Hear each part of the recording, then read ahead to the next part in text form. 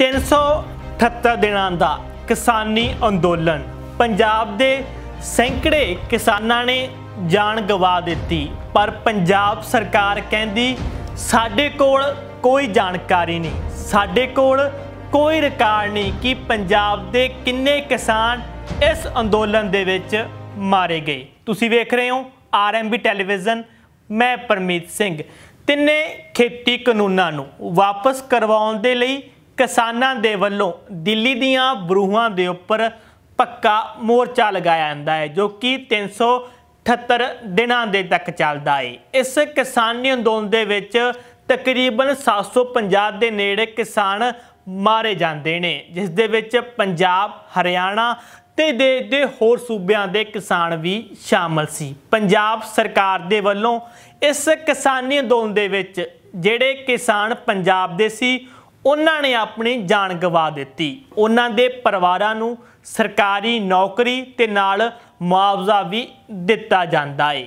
ਇਹ ਸਭ ਨੂੰ ਲੈ ਕੇ ਇੱਕ ਆਰਟੀਆਈ ਪਾਈ ਜਾਂਦੀ ਆ ਕਿ ਕਿਸਾਨੀ ਅੰਦੋਲਨ ਦੇ ਵਿੱਚ ਪੰਜਾਬ ਦੇ ਕਿੰਨੇ ਕਿਸਾਨ ਸ਼ਹੀਦ ਹੋਏ ਨੇ, ਉਹਨਾਂ ਦਾ ਨਾਮ ਕੀ ਹੈ, ਉਹਨਾਂ ਦੇ ਘਰ ਦਾ ਪਤਾ ਕੀ ਹੈ, ਉਹਨਾਂ ਦੀ ਮੌਤ ਦਾ ਕਾਰਨ ਕੀ ਸੀ ਤੇ ਉਹਨਾਂ ਦੀ ਮੌਤ ਕਿਸ ਜਗ੍ਹਾ ਦੇ ਉੱਪਰ ਹੋਈ ਸੀ। ਪਰ ਜਦੋਂ ਗੱਲ ਆਉਂਦੀ ਹੈ ਇਸ ਆਰਟੀਆਈ ਦੇ ਜਵਾਬ ਦੀ, ਤਾਂ ਪੰਜਾਬ ਸਰਕਾਰ ਨੇ ਕਿਹਾ ਹੈ ਕਿ ਉਹਨਾਂ ਦੇ ਕੋਲ ਇਹਨਾਂ ਕਿਸਾਨਾਂ ਦੀ ਕੋਈ ਵੀ ਜਾਣਕਾਰੀ ਨਹੀਂ। ਪੰਜਾਬ ਸਰਕਾਰ ਦੇ ਕੋਲ ਕਿਸਾਨੀ ਅੰਦੋਲਨ ਵਿੱਚ ਮਾਰੇ ਗਏ ਕਿਸਾਨਾਂ ਦਾ ਕੋਈ ਵੀ ਰਿਕਾਰਡ ਉਪਲਬਧ ਨਹੀਂ। ਪਰ ਇਸ ਤੋਂ ਬਾਅਦ ਸਵਾਲ ਤਾਂ ਇਹ ਬਣਦਾ ਹੈ ਜੇਕਰ ਪੰਜਾਬ ਸਰਕਾਰ ਦੇ ਕੋਲ ਕਿਸਾਨੀ ਅੰਦੋਲਨ ਦੇ ਵਿੱਚ ਮਾਰੇ ਗਏ ਕਿਸਾਨਾਂ ਦਾ ਕੋਈ ਵੀ ਰਿਕਾਰਡ ਨਹੀਂ, ਤਾਂ ਫਿਰ ਪੰਜਾਬ ਸਰਕਾਰ ਦੇ ਵੱਲੋਂ ਇਹਨਾਂ ਮਾਰੇ ਗਏ ਕਿਸਾਨਾਂ ਦੇ ਪਰਿਵਾਰਾਂ ਨੂੰ ਜੋ ਕਿ ਨੌਕਰੀ ਤੇ ਫਿਰ ਮੁਆਵਜ਼ਾ ਕਿਸ ਆਧਾਰ ਉੱਪਰ ਦਿੱਤਾ ਗਿਆ ਸੀ? ਇਹ ਸਵਾਲ ਪੰਜਾਬ ਸਰਕਾਰ ਦੇ ਉੱਪਰ ਖੜੇ ਹੋ ਰਹੇ ਨੇ। ਦੱਸ ਦਿੰਨੇ ਆ ਕਿ ਸਤਨਾਮ ਸਿੰਘ ਦੇ ਕੋਲ